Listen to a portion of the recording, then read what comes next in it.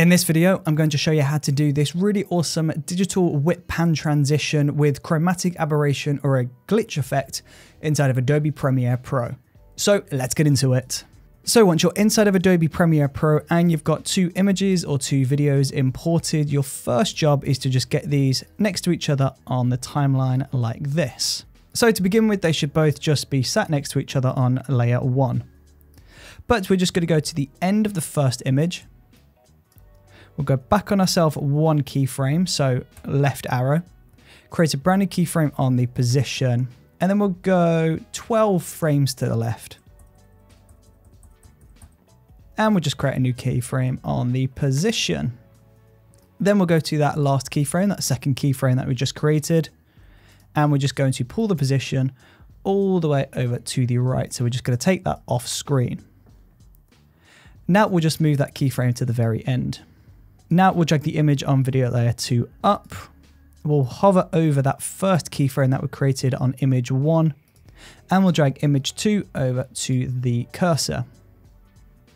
Now again, we'll just create a new keyframe on position. We'll go to the end of the first image and create a new keyframe on the second image. Then we'll go to that first image and we'll just pull the position all the way over to the left like this. So as you can see, that is our whip pan transition. If you wanted to make any adjustments to the speed of this, then you just have to make sure you move the keyframes at the same speed. So I'm just going to hover over the keyframes on image one. We'll go roughly three quarters, two thirds of the way through, and I'll pull that keyframe over to the cursor. And then without moving the cursor, I'm just going to go to image two and I move that second keyframe over to the cursor again. So there's the whip pan but I preferred it how it was before, to be honest. So I'm just going to undo that. Now this works fine, it does what it needs to do, but it doesn't really have a lot of character. So I'm just going to add some motion blur to begin with to take this to the next level. So to do this, I'll go to Effects, search for Directional Blur. I'll drop that to Image 1. Then I'll go to that first keyframe on the position that we created, create a new keyframe on Blur Length. We'll go to the end minus a few frames and we'll just increase the blur length all the way up to around 50, 60. And then we'll change the direction to the direction that it's traveling. So that would be 90 degrees in this one. And as you can see, it looks like we've created some motion blur. So we've got a little bit more character there. Now we just need to create the same on this image. So we'll go through to the point where it stops moving. So last keyframe, drop that direction of blur on and create a new keyframe on blur length at zero. Then we'll go back on ourselves and increase that all the way up to something really intense, maybe 100. And we'll change the direction to the direction of travel again, so 90. And when we play that back, you can see that looks a lot better now. All of a sudden we've got this nice motion blur there. If you wanted to as well, you could make the motion blur on the bottom layer a little bit more intense. There we go, we'll pull that all the way up to 150. And that feels really intense now. Now this step is just going to add a little bit more character to the motion of the animation. We're just going to highlight all of the keyframes on the bottom layer, right click one of those, go to temporal interpolation and select ease in. Then we'll do the same on the top layer, highlight all the keyframes, right click temporal, ease in. Now when we play this back, you'll notice that looks a lot nicer. There's a lot more character there. And the reason why is because rather than just starting when the keyframe comes in and stopping when it ends, it's just going to ease into each one of those. So it's going to accelerate in and de-accelerate out. So it looks a little bit more natural. Now before I carry on with the video, I'm first just going to take a quick break to talk about the Brooker Films courses. And in particular, I'd like to talk about the Premiere Pro course. It's a three and a half hour course and it teaches you everything you need to know about Premiere. So this covers import, organization, creating titles, green screen, multicam, and so much more. So if you're interested in watching the Brooker Films Premiere Pro course, then click the link in the description below. Now, back to the video. So now we've got our whip pan transition created in Premiere, now we need to add the chromatic aberration effect onto this transition. So in order to do that, we're just going to highlight both of these layers. We'll right click one of those and we'll just select nest. And we can call this transition. Now from here, we want to make two copies of this. So we should have three layers. and you can either go Command C, move over Command V if you're on Mac, do that twice so you get two copies, or if you're on Windows, that's Control C, Control V. You can do that. Or alternatively, if you're on Mac, you can just hold Option down, drag one onto two, and then drag two onto three with Option still held down. Now from here, you want to go into Effects and search for RGB. And you should see Color Balance RGB. You want to drop that onto your top layer.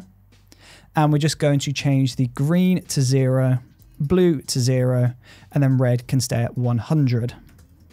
If for some bizarre reason it changes to 39, by the way, completely fine, don't worry about it. Then we go onto the middle layer, we'll drop color balance on and we'll change the red to zero and the blue to zero, so green can stay at 100.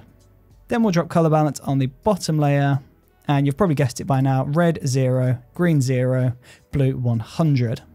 So if I turn off each layer, you can see we've got a red, green and a blue channel. Now from here, you want to select the top layer. We'll go to the blend mode under opacity and we'll change this to lighten or screen. So this is screen and this is lighten. You can see there's no difference there. Then we'll go to video layer 2 and we'll change that again to screen.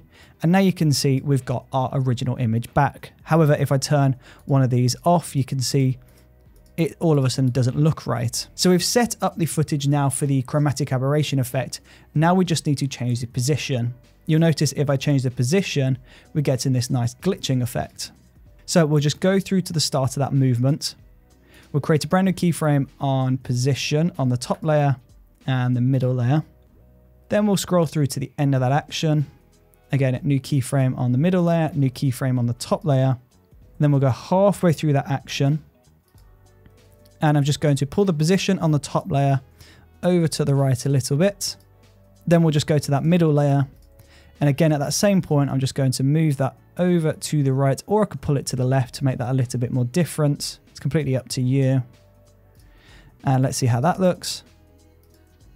That looks really nice. Although you could make this even more intense by just dragging that even further across. And that is how this looks. The problem though is you can see the edge of the frame here. So we're getting this really cool glitch effect, but we're seeing the edge of the frame. So to fix that, we can just highlight all of those layers. We'll nest those into their nested sequence again. So we'll call this chromatic transition. Then we'll just convert those keyframes to easy ease keyframes. And when we play this back, you'll notice we're zooming into the right, so it hides what's happening on the left. And all of a sudden we get this really intense chromatic aberration whip pan style transition. You could make that scale in even more intense if you wanted to add a little bit more character onto this transition. It's completely up to you. But that is how this would look. So as you can see, it falls back into place now. If you wanted to, you could delay those last keyframes so that you get this nice resting action at the end. And there you go, that is how you would create this whip pan transition inside of Adobe Premiere Pro with this chromatic aberration or glitching effect applied.